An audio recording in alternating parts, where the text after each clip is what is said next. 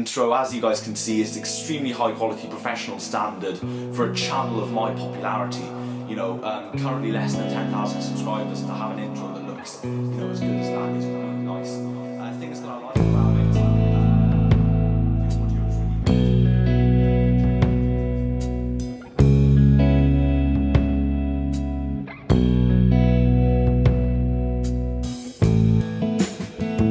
What is up, everyone? Today's date is February 20th, 2019, and that only means one thing 10 years ago to the day, this exact day 10 years ago, I opened the It's My Natural Colour YouTube channel, and we've been doing this ever since. Wow, 10 years of IMNC. I just can't get over it. A whole decade. Today, we're going to look back year by year. We're going to go in order. I've made some notes. I've made some notes about some videos, some key moments. We're going to talk about the channel and I guess my life, where we were at that time, the good, the bad. We're just going to have a little chat about the history of IMNC in medium detail because I don't want this video to be crazy long. I want it to be entertaining for people that weren't around at the beginning. I don't want to bore people with a load of um, sentimentality or whatever, a load of nostalgia. But we're going to chat about IMNC. Um, but before we do, I just want to take this opportunity, as I always do in kind of milestone videos. This is a milestone video um, because we've made it, you know, 10 years and we're still here. And I want to take this opportunity to quickly say a massive, massive thank you to every single one of you guys, new viewers, old viewers, people that have dropped in and out over the years. I just, I can't thank you enough because it's you guys that that make this. I know I've said it a million times now, um, but it is you guys. It's not me. You know, I I wouldn't do it if it wasn't for you guys. So thank you so much for being into this stuff, for, staying interested and just enjoying what I do and and sticking with me, persevering because I know I can be a right awkward so and so sometimes when it comes to unfulfilled promises and stuff. And I really realized that when I was looking back on the channel. Um, but anyway, let's kick things off with the first year, 2009. Up until this point, I'd already had a YouTube channel. It was called Thomas773 Smith. Wonderful username. Uh, I do remember where it comes from actually. It was um, an auto-generated the 773 was an auto-generated number by Bebo from Bebo when I signed up to my second Bebo account it just gave me Tom S773 um, I don't know why it did that I guess that's how it worked I'm not too sure because I seem to remember being able to choose my username the first time round but anyway you know we're talking 11 years ago or whatever 12 years ago when I signed up to my second Bebo account Tom S773 was the, the name I was given. And that's what I kind of used across the internet for a little while. And I guess it was taken on YouTube because I just plonked another Smith on the end of it, which was completely redundant. Uh, because obviously I already had the Tom S, so I was suddenly Tom Smith 773 Smith. so completely ridiculous username, and it, there's no point going to search for that channel. It would have brought you some results a couple of years ago, but I think maybe three, four years ago at a push. Um, the channel was taken down. Somebody got into it, you know, whoever you were, well done. Some someone managed to squeeze into it. I hadn't logged into it for years and years. Um, uploaded a load of um, you know stuff that broke the rules, I guess, broke the YouTube rules, and the channel got taken down. I got an email about it and stuff. So yeah, that was that. Um, I'd long since purged the videos. So what was on that old channel before we talk about IMNC? Quickly, um, there was all sorts of things. There was some music stuff that I did when I was very, very young. Uh, some skating videos because I was heavy into skateboarding at the time. And then later on, throughout 2008, into the second half of 2008, and especially into the October, November, December time, I was semi regularly uploading tech videos. Um, my interest had started to ramp up in all things tech. I got into Apple massively. I got into um, uh, retro gaming more, and I wanted to learn about the, the history of Nintendo and Sega, and and I, I just remember that time uh, I was hungry for tech knowledge. So I was learning, learning, learning, but also pumping back in. And I still remember the number of subscribers I had when I opened It's My Natural Colour. I had 28 subscribers, I believe. That that number stuck in my head, so I'm guessing it must be correct. 28 subscribers the day I opened IMNC, and I remember pleading with everyone, please come over to the new channel. Um, and you know, some people did. Obviously, a lot of those 28 were just sort of random sub for sub and stuff back then. You know, we're talking 2008, 2009. So, you know, YouTube was a very different place back then. I opened the new channel, I got some subscribers, and I started to try and make consistent and good quality, you know, not video quality, but um, quality in terms of the content of the video, what I thought was good quality videos um, for its natural colour. And the reason I opened the new channel was purely for the username. Back then, you could not change your YouTube channel name, and I wanted a decent username. And I remember sitting around the table with my parents, we were eating breakfast or lunch or whatever, and I was just saying, guys, what can I call my channel? You know, and they were helping me out and stuff. But I eventually settled on IMNC, It's My Natural Colour. And the reason being was because the majority of the questions I received were, is that your natural hair color. So I decided to address it in the channel name. And I would be curious to know how much that has helped that question, because obviously I still get asked that all the time. But yeah, there's a little bit of interesting kind of history there, I guess. Um, I, I was very stressed about choosing a username, very, very stressed, because that was the whole point of launching the new channel. I needed to get the username right. But moving on, as soon as I got IMNC off the ground, I started up re-uploading some of the better videos from the old channel, I think maybe a maximum of three or four, and then bang, I was into new content. And I was pumping them out on a semi-regular basis, definitely enough to, to get some growth. And I saw some fantastic response from people and it inspired me to carry on and put even more effort in and start to to put some money into this. Um, so 2009 was maybe a growth of, in the matter of tens of subscribers. So I published my 100 subscriber celebration video on July 17th, 2009. So you guys can get an idea of how quickly things went from like 20 odd subscribers up to 100, you know, just a matter of a few months. And it sounds like nothing by today's standards, but to me back then, that was huge. And I started to put more and more effort in. So a little landmark video that I always look back on from 2009 because I see it as like a turning point for me personally and the real beginnings of my um, Apple tinkering and my knowledge. Um, that was the unboxing of the Power Mac G4 Quicksilver. Holy gosh! Man! That is heavy!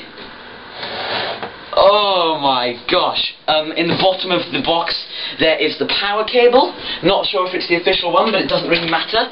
And another pillow. So that's it for the box. And here we have the Power Mac, guys. So I'm going to stop recording now, and I'm going to grab the camera off the tripod and show you around the Power Mac. So that video was uploaded on June 1st of 2009, and from that point onward, that was it. Obviously, I'd owned um, a few Macs by that point. I had the MacBook. I had a lot of much older machines before then. Um, but when I got that Power Mac G4 Quicksilver, that was such a big deal. I was beyond excited. And then throughout the next little while, it was just a really quick turnaround. So I got the Quicksilver, I made some videos. I got the MDD, I made some videos. Going into 2010, I got the G5, I made some videos. And I had this real quick turnaround of machines. I was just getting the machine, learning about them, tinkering with them, making videos and moving on. Bang! It was like a production line. But the whole time I was doing it, I was broadening my knowledge and, and really building up my foundation of what we have today, my my kind of basis in the, the PowerPC. Um, I'm not going to say PowerPC community because I don't feel like I'm part of the the hardcore PowerPC gang. But whatever we have going here, that's kind of where it all started for me, at least on the Mac side of things. So before we finish up talking about 2009, one more really quick, cool thing to note, and I couldn't believe this. Um, one of my most popular videos of all time on the channel is currently sitting at 177,000 views. It's not my most popular, but it's up there. It's in the top five. And it was uploaded in 2009, and that is the Nintendo GameCube Game Boy player a random video, random, random, whatever had happened, I can't even remember. I'd bought it in a car boot sale or whatever, brought it home to make a video about it, bish bash bosh, and there it was. And those kind of videos, they oh god, they're so frustrating because uh, this was 2009, so it was too early for me to make a really polished, lovely video. I had nothing. I was making all of this stuff with my mum's digital camera at the time and the iSight built into my MacBook if I was doing a talking to the camera video. Uh, and later on, my iPhone actually, I got my iPhone in around October of 2009. So later on, we started filming with the iPhone. But regardless, I always I'm gutted when videos, just quick videos that I've thrown out for the hell of it. I'm gutted when they skyrocket in popularity because I know how much of a better job I could have done with that video. But hey, the response on that video, all things considered, is pretty good. So that's 2009 in a nutshell. I was a kid. It was me starting off. It's a little bit awkward looking back now, if I'm being totally honest with you guys, because, yeah, I, you know, everyone feels like that about their childhood, I guess. But luckily, I, I was, how old was I? I turned 15 in 2009, so I was 14 when I opened the, the channel, I think. I think that's right. Anyway, so, you know, not too young. I can look back and I, I, have you know, I'm, I'm okay with looking back.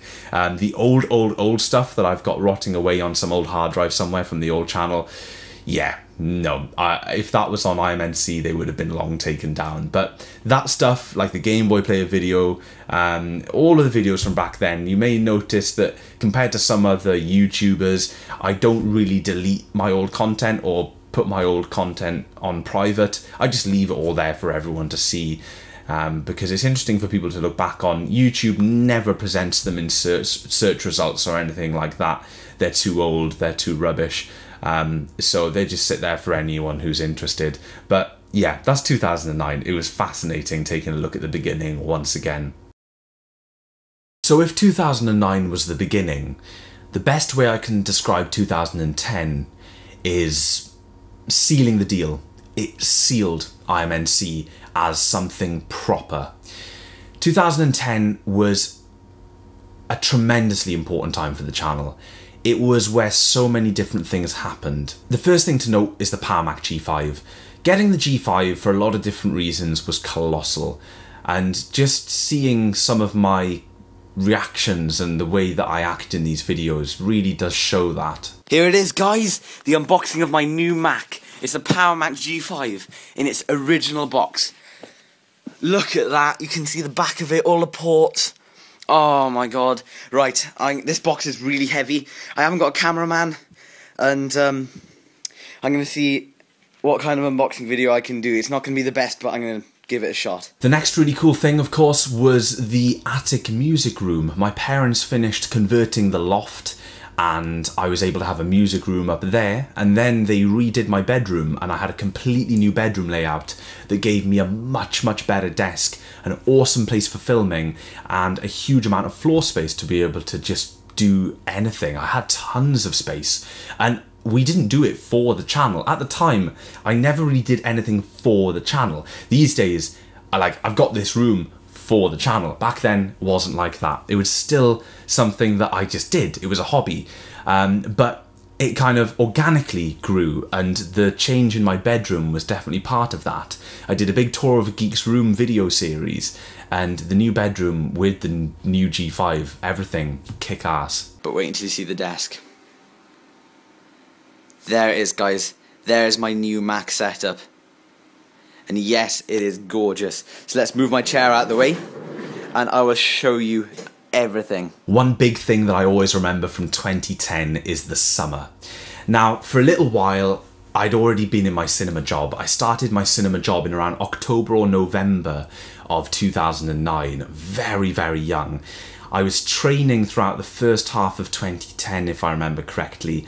By the time summer came around, June, July, I was ready to run 35mm film on my own. So this is pre-digital, pre-digital projection. I was running proper 35mm prints at the age of 14, 15, uh, 15 and I was doing so extremely often. And summer 2010 is a massive deal because a lot of people went on holiday and work, and I just sucked up all of those shifts. Toy Story 3 was out, and I showed it three times a day or twice a day, whatever it was, bang, bang, bang, bang. I just kept showing it, kept logging down my hours, and kept getting the money. And I was able to make two huge purchases off the back of that um, work that I did over the summer. The first one was a one terabyte hard drive for my Power Mac G5, and there is a legendary hard drive upgrade video on my channel. It's a two parter. That is one of my favorite upgrade videos of all time I've ever made. So, it's this drive that we're taking out. All you do is flip that up and unplug it. Try and somehow wangle out these cables. There you go. Cables are unplugged. And now I believe we can just pull out the drive. And the second and far bigger purchase that I was able to make was a camcorder. So I'd gone all of this time, even throughout the first half of 2010, still recording on my iPhone 3GS, which is of course standard definition 4x3 video. Pretty nasty, thought it was great back then, but I bought the, let's see if I can do this, Panasonic HDC TM10 camcorder, 1080i, saved to SD cards, lovely bit of kit. But it was a huge headache. I didn't know very much back then. Um, my knowledge was growing, but I still didn't have amazing knowledge. It recorded in AVC HD, so my Power Mac G5 all of a sudden was pretty useless. Uh, so I had a white MacBook at the time. I used to import the clips using the MacBook and transfer them over to the G5 once they've been imported because for those of you who don't know, AVC HD is not supported on PowerPC Macs at all. I've spoken about it a lot since that initial discovery. So 2010, all these wonderful videos, all sorts of different things came along. I'm only really scraping the surface and talking about the, the things that really, really stand out, but so many wonderful things happened. Um, due to the AVC HD thing and my general thirst for more power, more speed, and to expand on my knowledge even more, um, the last quarter of 2010, I began planning how I was going to upgrade to a Mac Pro, and we succeeded. 2010 going into 2011, we upgraded from the G5 and the MacBook, sold them, got rid of them, and I bought a Mac Pro. The Mac Pro is, of course, a 2011 thing, early 2011. Um, that's when we unboxed it. 2008 Mac Pro. Still can't get over that. Wow, it's here. This is amazing. Absolutely amazing. This is a day to remember on this channel. This Mac is going to be with me for years. But one more thing to mention about 2010 first. 2010 was the year I hit 1,000 subscribers. So you guys can see 100 in June of 2009 and then in October of 2010 we hit 1,000. So in a year and two or three months uh, we we hit thousand mark from 100 so an additional 900 subscribers. Um, seriously seriously a massive big deal back then. It still makes me smile just thinking about the way i felt when those kind of milestones came along. 2011 i call this the branching out year. 2011 was really the time where it changed from tom in his bedroom as a school kid to tom becoming a person and at the same time the channel fitting into me as that person. So, school kid with a hobby in his bedroom versus YouTube is part of my life and my life is progressing quite nicely. Um, that's the way I look at 2011. So, 2011 on the video side was the first year where I can comfortably say that that's when we started projects. And I label them as projects now, but I didn't really back then. I was just organically getting better at video making, getting better at ideas, and finally sort of applying the things that I'd learned to actually achieve things of my own. And of course, one of the biggest examples of that was in the summer of 2011 when I built my gaming PC. I'd tinkered with PC parts before in the past and bits of this and bits of that, swapping in and out, but this was the first proper PC build from scratch with all brand new components. And that PC, wow. I had a whale of a time. I had absolutely brilliantly bonkersly good time building it. Making the video series was such good fun. I had a dead on arrival graphics card which just added to the videos because I was able to make more videos and talk about the graphics card and stuff. Um, ah, guys, 2011 gaming PC, I look at it with such fond memories. And there was a real quick change with everything that happened back then. I did something and bang, it was the next thing. It was always bang, bang, bang, bang. You know, selling, buying, selling, buying, selling, buying. These days I'm a lot slower. Um, I guess a lot of that has to do with all of the other commitments, but uh, what I'm trying to get at is the gaming PC from 2011 it didn't last very long. You know, I made a video very soon after that, maybe even in 2012, um, trying to sell it. But uh, what you've got to remember is I was I was thirsty for it, and I just wanted to keep doing it. And it's of no reflection of how I felt about that PC. That PC was so special to me, um, and it was sweet having a PC that could finally play proper computer games that looked really nice. Um, you know, it was a little bit of a beast for its time. It was a beast considering I'd saved up myself, uh, you know, to, to do it. And that, yeah, it, it was great. Great time. Here is every single part to my gaming PC. There is no way I would have um, sat here waiting. Um, not sat here waiting. There's no way I would have recorded this video while waiting for a specific part. So I'm going to take you over and down explaining every single part of this build. So, first off, let's start with the CPU. Another massive thing happened around the same time. Uh, in July, July 21st of 2011 to be specific. That was the first ever vlog. Hey everyone and welcome to my first ever vlog. Um, I'm going to start doing this maybe, not sure. Depends how well this goes. I'm just going to sort of um, take you around my life basically. Um, being as I've got more time in my life now, because it's the summer holidays, I might as well do it. So I'm travelling downstairs into the kitchen because I plan on. Uh, I plan on making some awesome food, whatever it's gonna be. So it was called Making Kick-Ass Breakfast. I remember filming it. I still remember doing it. I remember my family commenting on it in person. I remember going to visit one of my aunties and I remember them uh, saying, oh, Tom, are you making breakfast? You know, and I, I realized that I'd gone into like the realm of my videos are now accessible for normal people. It's not just nerds anymore. So I started the vlog thing out of the blue. I can't remember who influenced me to even do the vlog thing. Um, my influence up to this point had been all sorts of different people, but just to name a few while we're on the subject then, I don't want to go too deep into it because I know this runtime is going to be crazy. Uh, but right back in the day when starting my channel, 2009 kind of time, I was watching. I'm just gonna just gonna plonk a few names out there. Some of these people still exist. Some of them some of them don't exist on YouTube anymore, or some of them do, but in a very different and not so good way.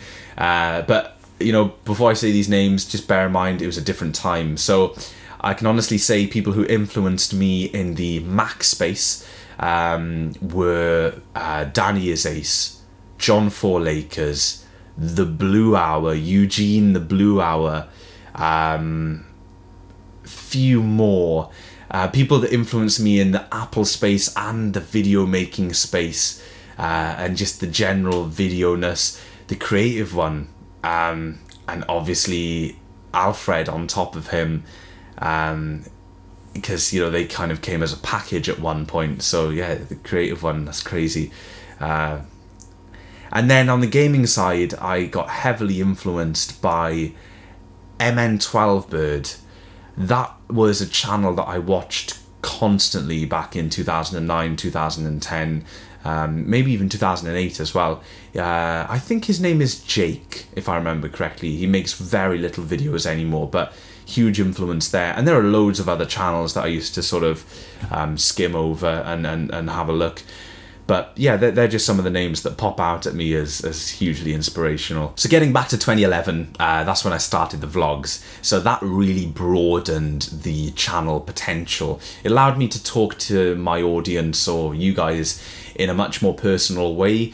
Um, I didn't have to talk to you via product anymore, and it actually helped a lot. If you look at my videos before I was vlogging and after I was vlogging, anything I was making before I was vlogging, if I was talking about, say, for instance, a PowerBook, every now and again I'd just throw in some random thing. It would trigger something in my mind. I'd throw in some random non PowerBook related statement about my life, or just say, oh, I did that yesterday or whatever. You know, just really not focused on the video at all because I was so desperate to share my life with people. Um, it sounds a bit crazy now. I wouldn't start vlogging now. You know, I, I don't think my life is interesting enough to begin the vlogging journey now, but I clearly did back then. So um, when I started the vlogging, it meant that I could use the vlogs to talk to you guys and ramble, ramble, ramble, ramble all the time. And then I could be a little more focused in the videos that I made. So yeah, that's what the vlogs did. They were a huge thing. And then another huge landmark thing from from uh, 2011. I started college. September 2011 was my first year of college. So school was done with. I made a little vlog, School's Out for Summer or School's Out Forever or whatever. Um, in July after my GCSEs, after I finished the final exam. It's a nice little vlog. I've watched it a couple of times since, actually. It gives me sort of warm little memories because I did have a real sense of relief when I finished school. You know, obviously there were pros and cons, but I was very ready to move on to something new. We've crossed off the last GCSE.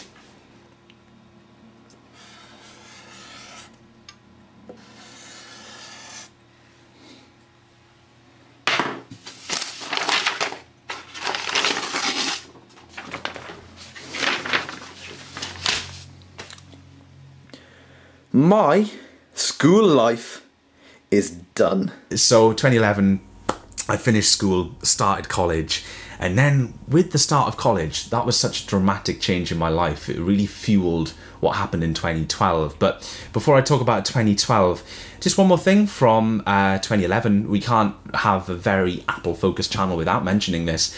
In October of 2011, uh, or September or October, I, it must have been October.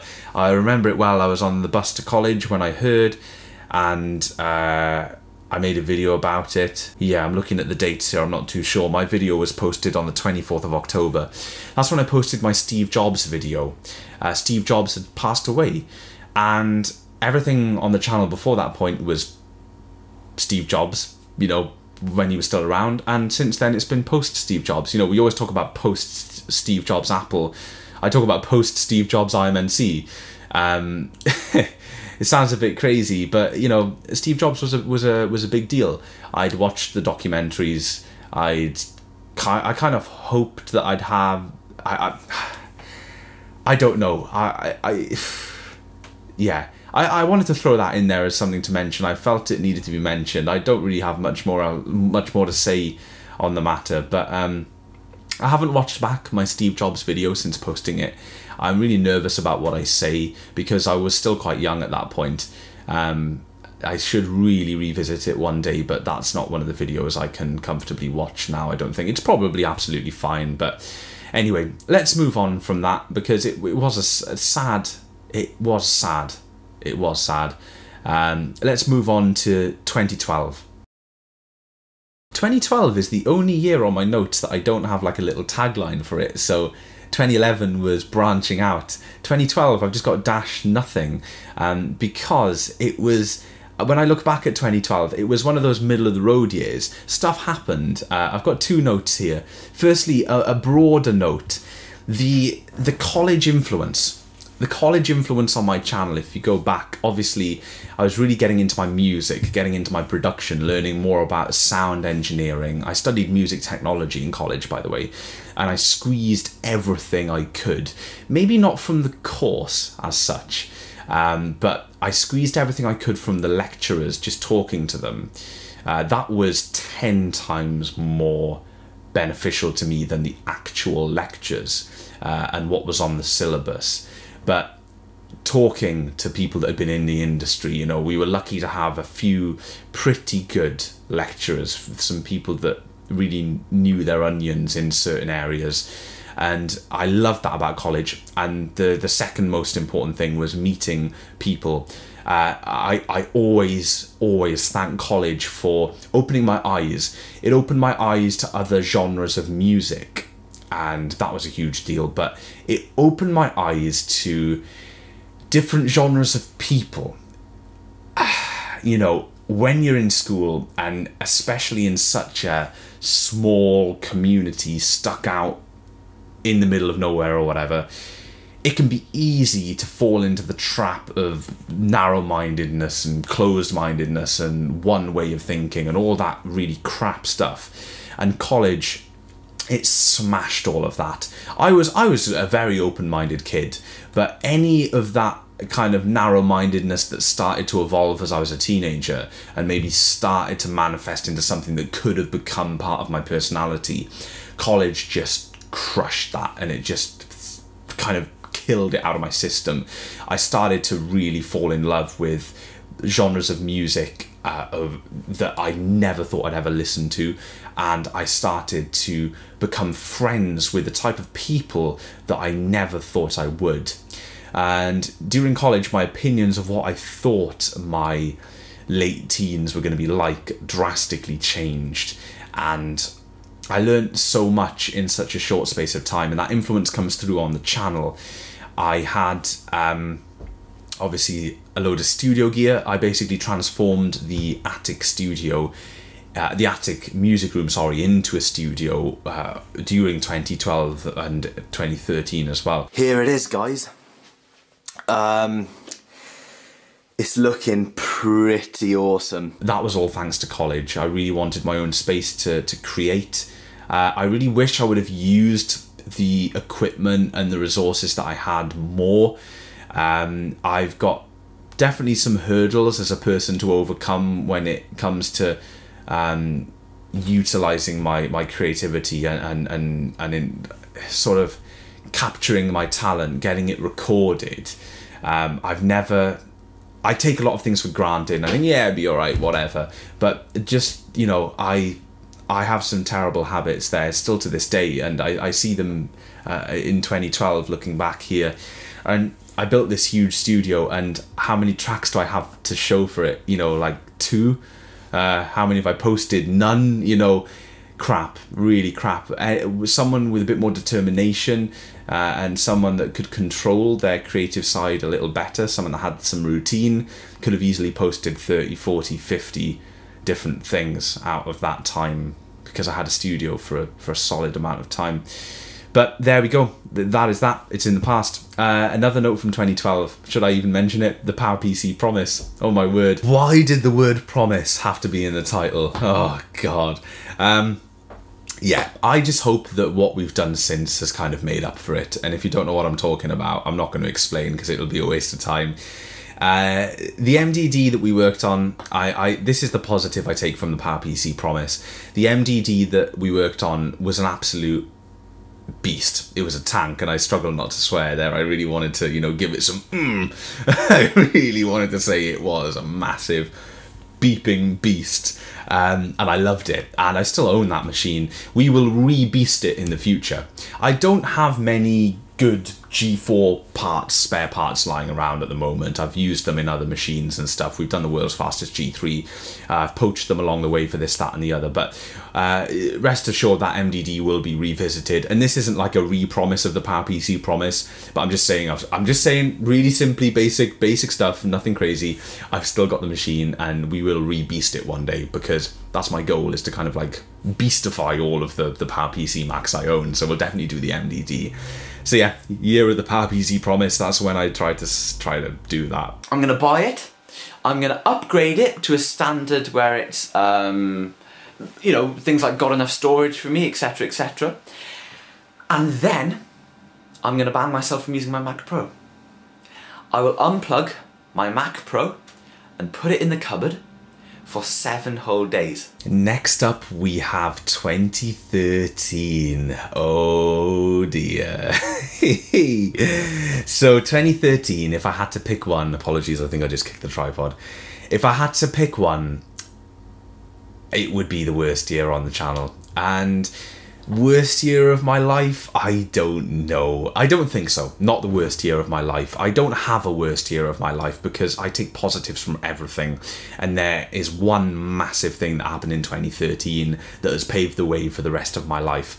Um, and that's meeting Jess. I met Jess in 2013, and that is the most wonderful thing. We are still together, as you guys know. Um, she's not here at the moment. They're in Asda shopping. You know, we're not physically together, but you know, we're still as one. Um, we got two beautiful children, and I've got 2013 to thank for that. Um, at least meeting Jess, anyway. So 2013 was glorious because of that, and I want to get that out of the way as something wonderful. But obviously, that's not really channel related. Let's talk about 2013. So, um, when did I turn 18? Let's get this right. So, I must have turned 18 in October of 2012 and just like anyone when they turn 18 it opens up new doors it opens up new opportunities. Leading up to this point and my my closest and oldest friends will all back me up on this one. Uh, james jack um, just the whole gang really. Um, throughout the first year of college the last couple of years of school and stuff where people are sort of maybe starting to to go to parties and, and stay out really late and have a couple of beers and try some drinking and you know just that sort of thing. I was never involved with any of that. Never ever ever. I did not touch a drop of alcohol until i was 18 years old. And what happened was i was kind of i was always wrapped up in whatever i was doing at the time. My head was so full of uh, geeky stuff nerdy stuff music stuff whatever I was doing at the time, I could not imagine a life where I was under the influence of something that would distract me from those goals and something that would eat into the time that I had to uh, experiment and to to learn with these things, all this tech stuff and that. And I just couldn't ever see myself as one of those guys that went down the pub and got smashed every Friday night. But what happened was, uh, 2013 combined with the change in uh, personality that I had in college because of how much more my eyes were open. Um, yeah, as soon as I turned 18, I started partying. I started going out. I started staying out late. I started staying out all night. I started this, you know, life of an 18 year old. And that was probably one of the most normal things I'd ever done in my life. Um, one of my favourite things is I was I was part of such a good gang. I had a great group of college friends. I had a great group of friends that had now sort of merged with my college friends. You know, from from here, um, just everything was really kind of perfect at that time. And going out um, and you know getting drunk was really fun. And then that led to, of course, it led to the band and the band is what kind of draws some negative points out of this year for the channel. Um, the God, I I've got to be so. I, I, it's so hard to put all this into words. Okay, rewind a little. At this point, I was gigging. I was gigging sound and lighting. I had been for a few years at this point, going out doing shows, um, uh, pubs, clubs, little festivals, this, that, and the other. You guys know the score, and I've been doing this. It was great. And then what happened was I was doing a lot of tech work for a, a local band, and the band had a couple of my friends in it, and they lost a member or whatever happened, and it one thing led to another, and I became part of a regularly gigging band. So when I say regularly gigging, we'd gig Friday night, Saturday night, possibly Sunday, sometimes a gig in the day on Saturday, and we'd practice once or twice a week. So a real huge commitment. And I did that in 2013. When did I join? I can't remember. Uh, I want to say middle of 2013, May, June, something at a, at a guess. But I joined the band in 2013, and that whatever kind of hope that we had for a consistent YouTube schedule in 2013 was just crushed by that. So I had college and I had the band, and then in the summer, obviously that was my last year of college. So in the summer, um, when we. God, I've got this written here. Have I? Worst summer in the history of the channel. Yeah. So basically, I joined the band, obviously, and uh, we were extremely busy in the summer. And uh, what I didn't know back then because if I knew like time management and stuff, what I didn't know was how to be kind of wild, you know, on the weekend and then come back and be normal. I didn't know how to do it, or at least IMNC normal.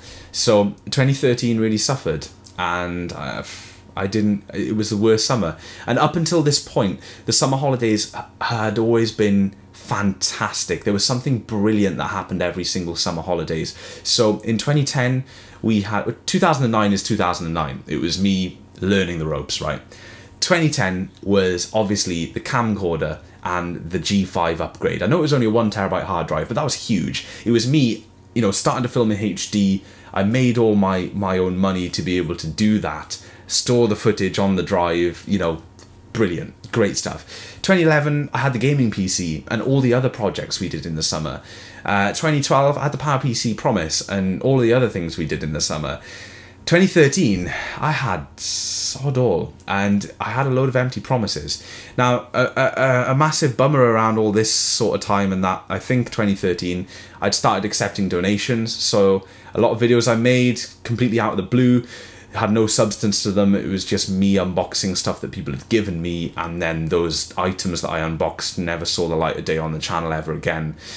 Tremendous guilt about it, but with 10 years under your belt doing one thing, if anyone has worked a job for like 10 years, and, and we'll, we'll compare it to a job, it, it it's not a job, but we'll compare it to one. For anyone who's worked a job for 10 years you can't look back at every single one of those those years and think man that was insane. That was a brilliant year. That was absolutely rad. You just can't do it. And 2013 for me is yeah kind of yeah. And another bad thing let's just wrap this up with 2013 in september of 2013 something quite fundamental happened. A lot of my friends went to university. I'd made the decision not to go to university. I was a little bit semi deluded at this point and thought that what I was doing on the side could make me enough money to kind of live, and it couldn't. So that was that. A lot of my friends went to uni, everyone went back to college and school or whatever the heck they were doing. Um, and I was there on my own, and I announced to the camera that I was going to be making YouTube videos extremely reg- regularly to try and boost the channel and make some money from it. And then Tumbleweed, I did nothing about it because I went on tour with the band, went on a little UK tour, and uh, yeah, there was stuff leading up to the tour, stuff after the tour, and it was just a spiral into rubbishness, really.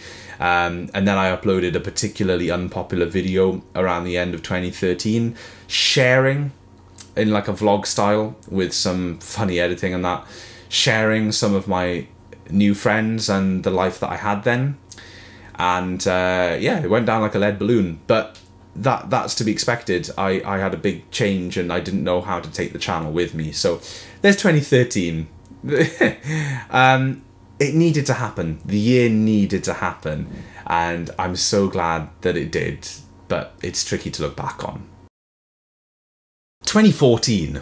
This is where I sorted myself out. I've got a little note here 2014 dash turning things around. And I really did. Took a little while, but it got there. So a bit rough around the edges, you know. It wasn't a clean cut from 2013, obviously. I didn't have a New Year's resolution to become a better person, but it just organically happened, like all the best things do. I had some golden vlogs from 2013, uh, sorry, 2014, maybe some from 2013 as well, but the vlogs of, uh, from 2014, I look back at some of them and I think, yeah, I can really hear in my voice that I'm, I'm trying to find my feet again. I'm trying to sort myself out. On June 14th, I made an update video that was extremely important. It was the update video where I'd mentioned I'd left the band and I'd learned so many amazing things in the band. I wouldn't change it for the world. Uh, I'd change the way that I left and the way that things were left because it was all really awkward at the time. I wish that it was a cleaner break. I wish it was a nice kind of exit, but uh, June 14th, I uploaded the video saying that I'd left the band, and things went from strength strength to strength after that on the channel. But before they went from strength to strength, we had a summer holidays with no videos, no videos at all, because 2014, the summer, was that rediscovery point. So I'd left the band and I was trying to figure out, okay, I'm not in this band anymore. I haven't had my weekends for the last like year or so. Uh, what am I going to do? And I pushed the gigs. I tried to gig and gig and gig and see if I could make money from doing it. Fact is, if you're on your own and you don't have a driving license and you don't have a van and you rely on yourself to buy all of your equipment and all of this, that, and the other, it is near impossible to make money gigging with your own equipment as a lighting and sound engineer, at least from my experience. And um, you can do it. You can do it if you live in a good place, and you can do it if you don't use your own equipment, and you can do it if you drive. But I couldn't do it. So roll around to September 14, and it was kind of like a deja vu. But this is a cool one, right? I'd already learned about the promises thing by then. I hated myself for the promises that I'd made to you guys. And September 2014, I did an I'm back video. Uh, again, I'm back again. It's exactly the same thing as the previous September. Really embarrassing. I'm so glad I don't do that sort of thing anymore. I'd shown you guys little clips of what I've been doing over the summer, all the gigs and stuff. I worked in a couple of different clubs. It was great fun. Again, learned a lot. I'm saying that a lot in this video, but you know, it was a crucial time in my life where I was learning a lot, so whatever. So from that point forward, after that little update video, I didn't mention anything about five videos a week, not to my knowledge anyway, but I organically begun making five videos a week. So Monday, Tuesday, Wednesday, Thursday, Friday, video, video, video. Now, not the best videos came out of that time. There are some really good videos, but a lot of them aren't that great. But that doesn't matter. What that taught me, what the five videos a week taught me, bang, bang, bang, bang, bang, was discipline. YouTube discipline. It was a kick up the ass. I needed that kick up the up the up, kick up the ass. So I had it. I did it. I got it. I was chuffed. So then I got a really big panto job that year, that uh, Christmas. So five videos a week, like that, right? But I got back to it. January, five videos a week, bang, bang, bang, bang, bang. And I did it throughout the whole first half of 2015. So that was extreme discipline that I'd finally taught myself after all of this time and after all of this dicking around. Five videos a week organically started, made some brilliant videos. October 20th of 2014, I hit 10,000 subscribers. 10,000. So that was a big deal. Little break for Christmas because I had a big job to do. I think November, December, and the first half of January, I was on tour that whole time uh, doing lighting for a, a, a, panto. So there was that, and then I was back at it again. I managed to jump straight back in. Five videos a week. I did it.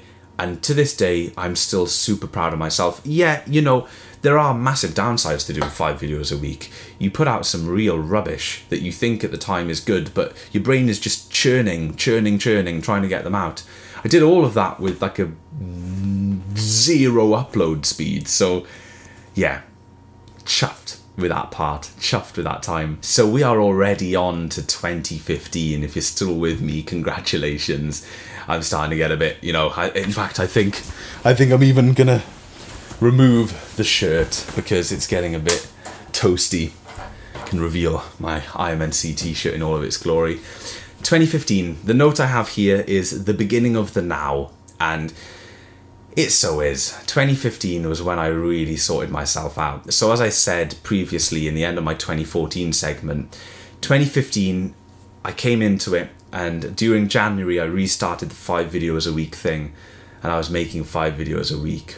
I was just doing it one after the other. This is when I started to try and really transform the way that I used my own equipment and tried to make what I didn't realize at the time I was trying to do, but looking back, I was trying to make myself a little video making studio. And that started with the ultimate desk setup, of course. This is how my desk is looking at the beginning of February 2015. And if I just overlay a shot of how my desk was looking just a few months ago before I started this project, you guys will hopefully see a massive, massive difference. And after that, we have the little server shelf that was the very beginnings of my network obsession, my obsession to when I uh, moved into my new place to try and get a really kick network going. So, little shelf under my desk with gubbins on it for network. Gorgeous. Intel Mac Mini and the Gigabit switch. Now I briefly touched upon this on my Ultimate Desk Setup video, but if we take a little look at the shelf, you guys can see the Mac Mini powered on there and also the Gigabit switch. Plugged in, connected to the Gigabit switch is the Mac Mini itself. And then a milestone, we had all that transition stuff between the Mac Pro, right? Mac Pro and the Hackintosh. I built the Hackintosh, and that was one of the most highly polished videos up until that point I had ever done. The production was way up there compared to anything I'd done before, and I loved building the Hackintosh. My PowerHack G4 project is steaming underway, as you guys may have noticed. Everything is going really well, and from here on in, it's pretty much plain sailing.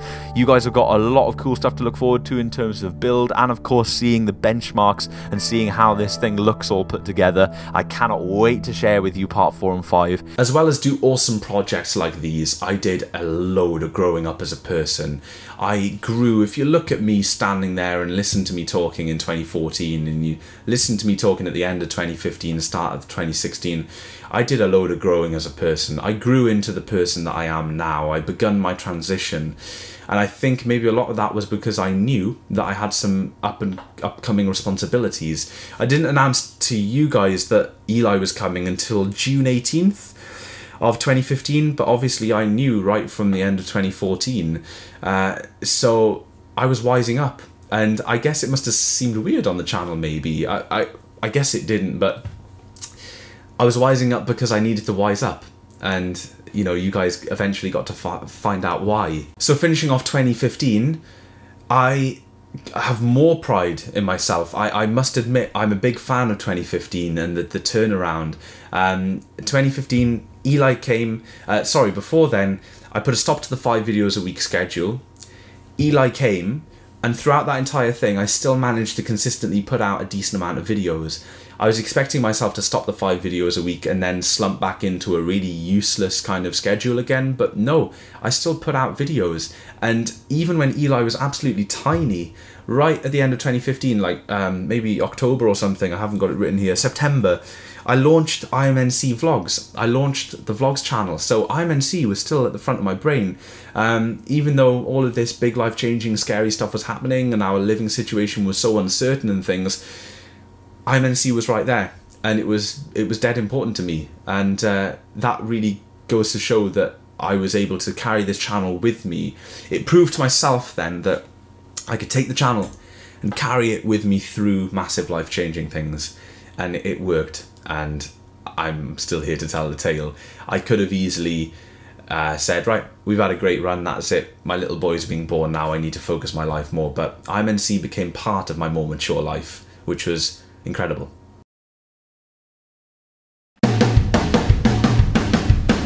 Introducing IMNC Throne Mark II,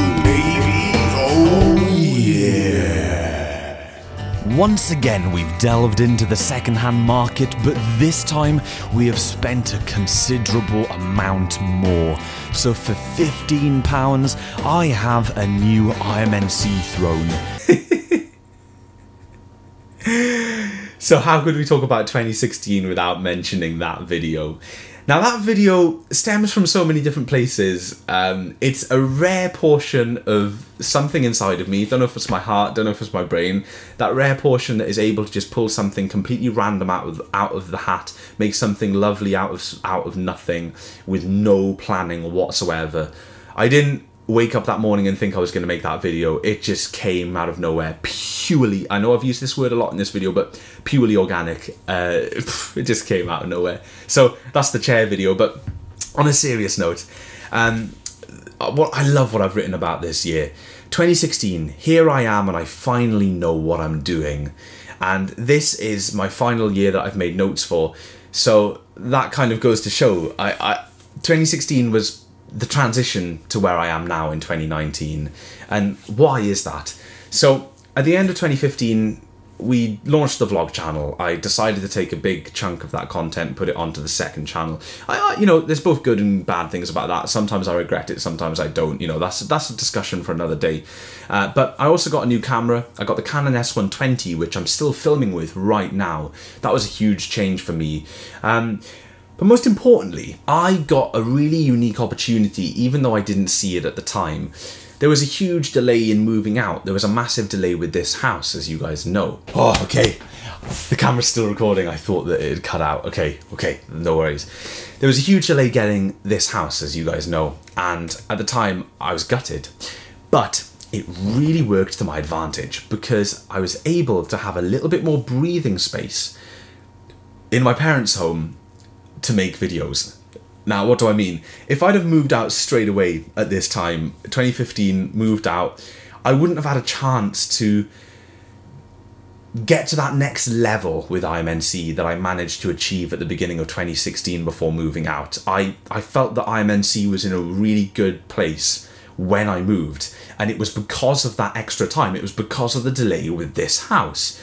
So with all of the help and support that we had at my parents' house, you know, my parents, um, and the fact that Jess moved in with my parents and I, so we were all under the same roof, meant that like traveling time was nothing and, and you know, everything was fine.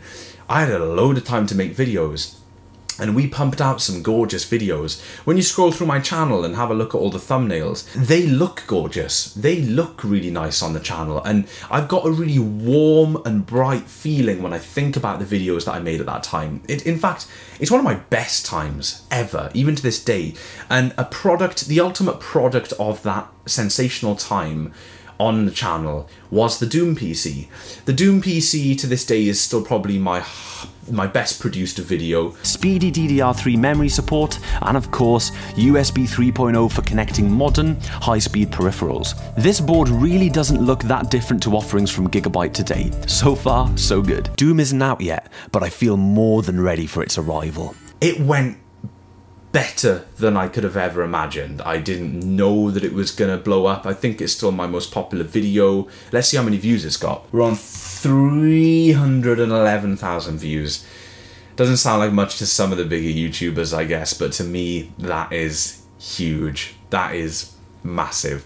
So, the Doom PC was was big, and all of the videos that I did around that time, I've got a great feeling about. We did some N64 stuff. I did a cleanup of an N64 controller and stuff. Simple little things, but they were all polished and really nice. Then we got March, the last hurrah, the IMNC uh, Mark 1, IMNC HQ Mark 1 final stream. Great fun, great, great, great fun. I haven't been chatting about streams in this video, I've just realised that, but yeah, you know, can't talk about everything. Um, great stream, and then of course March we moved out and we had the big move and uh, rapid growth all at the same time from this year from the doom pc you know we had the move and everything huge growth. And that basically meant that by the time july rolled around i had 20000 subscribers. Uh, that's it for my notes. I haven't gone any further making any notes.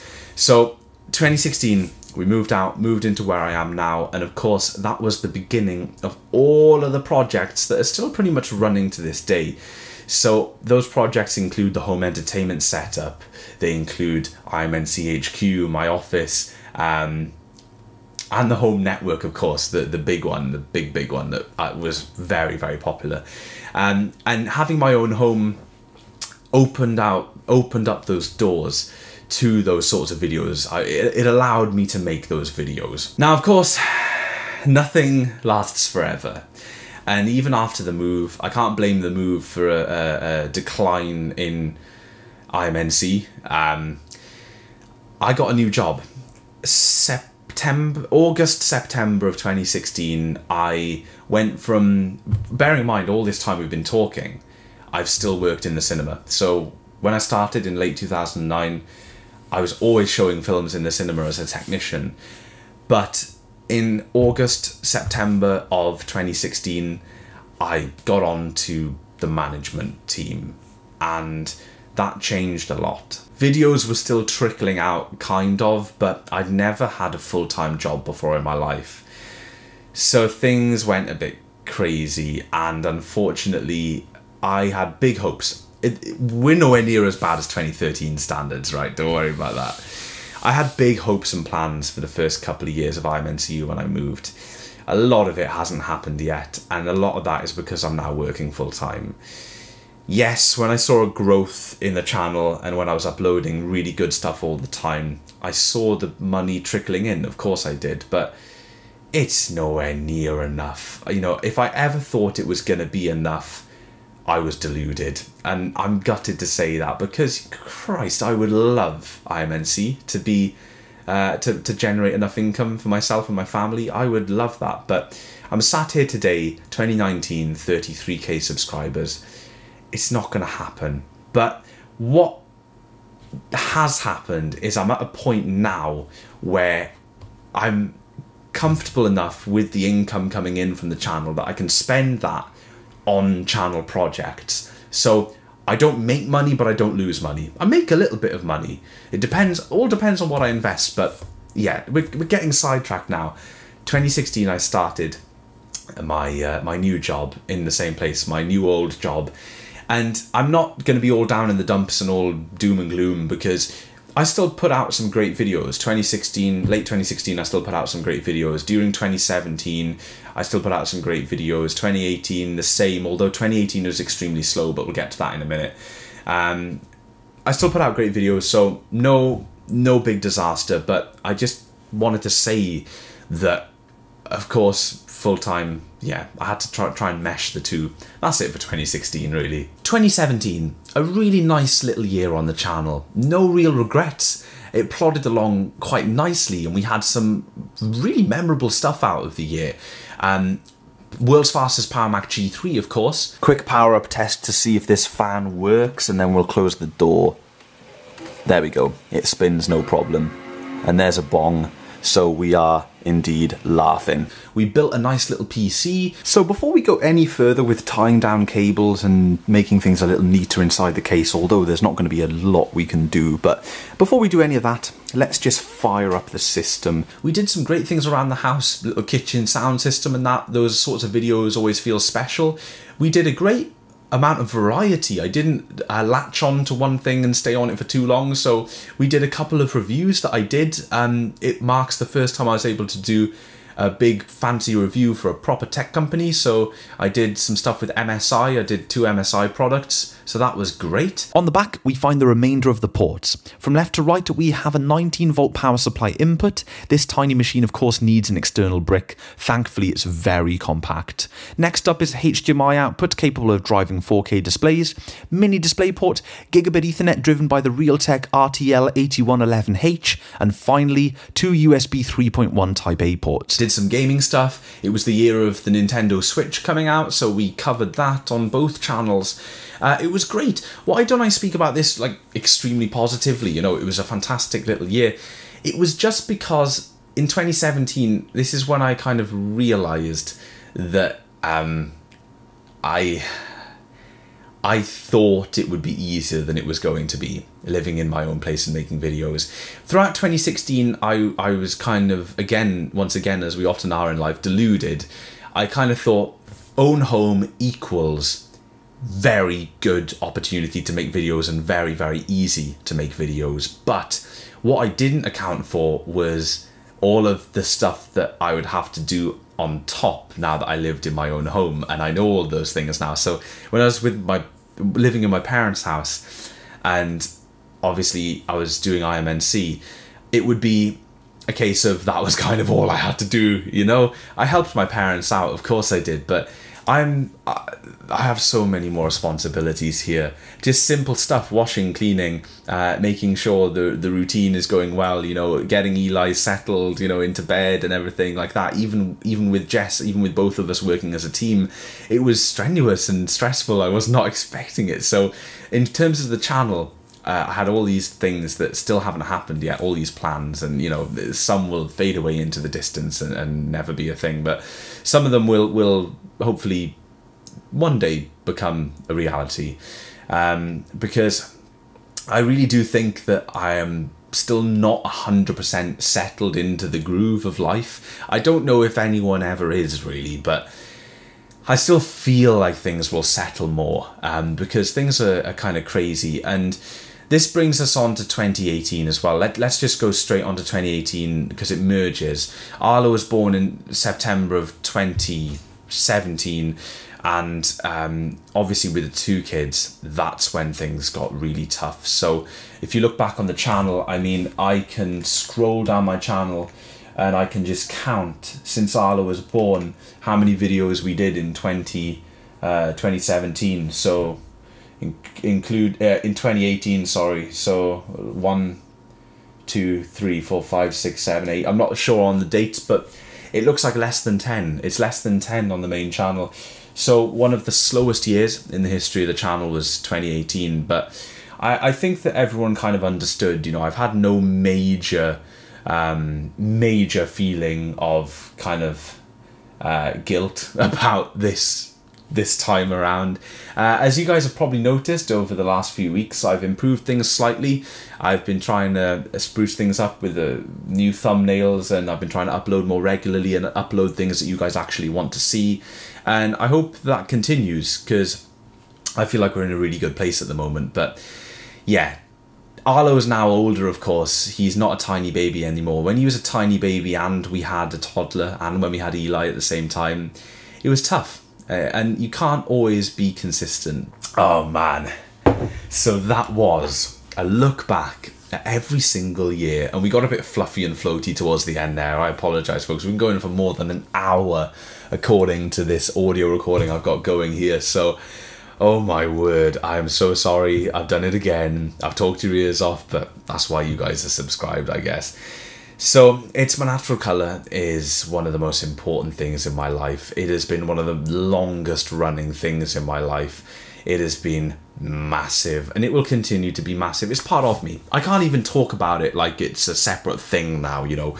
As lame as it sounds, it's me. It's part of my core.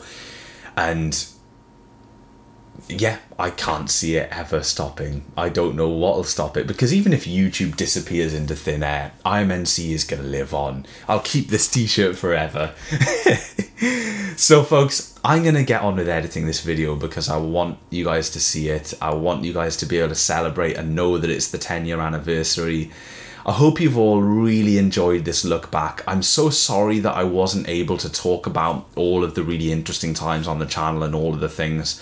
Um, it, there's just too much to cover. It's been 10 whole years of history that I'm trying to down into like an hour. And I was hoping this wasn't going to be longer than about half an hour, to be honest. But yeah, that's beyond unrealistic thinking. Uh, so thank you so much for watching, guys. Hope you're all doing really well. And I will see you in the next video. Here's to another 10 years